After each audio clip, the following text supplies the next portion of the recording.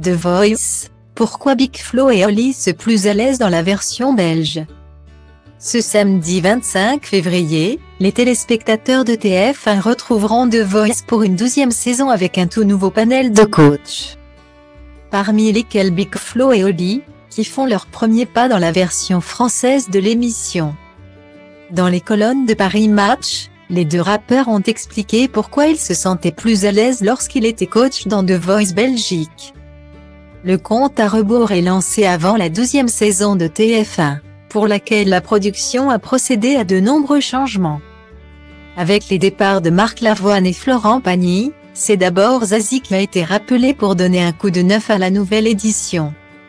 Elle qui avait avoué avoir hésité avant d'accepter de revenir.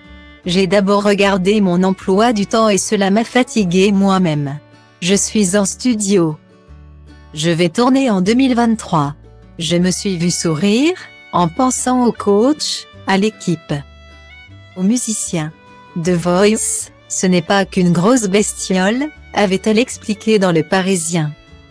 La chanteuse a finalement accepté de partir une nouvelle fois à la découverte de nouveaux talents. Aux côtés de Vianney, Amel Ban et des recrues de cette année, Big Flo et Oli.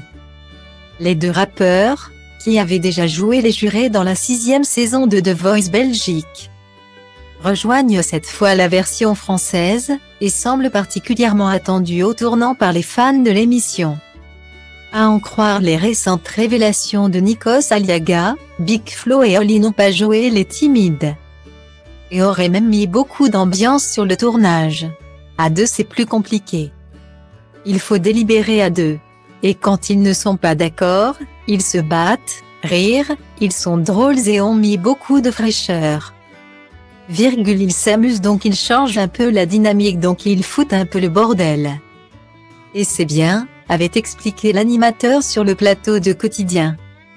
Pourtant, les deux artistes de 30 et 27 ans n'ont pas caché qu'ils ne faisaient pas les fiers dans leur double fauteuil. C'est dur de trouver nos marques. On vient d'un autre milieu, le rap, on est entouré d'anciens donc on a l'impression de débarquer dans une classe en cours d'année. Ont-ils confié à Paris Match? Big Flo et Oli en ont également profité pour avouer que leur temps d'adaptation en Belgique fut plus court. Ce n'était pas chez nous et on était jeunes donc on se sentait plus libre. Là on se regardait un peu trop.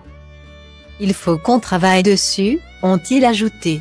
Les deux frères vont-ils réussir à s'imposer en tant que coach? Réponse ce samedi.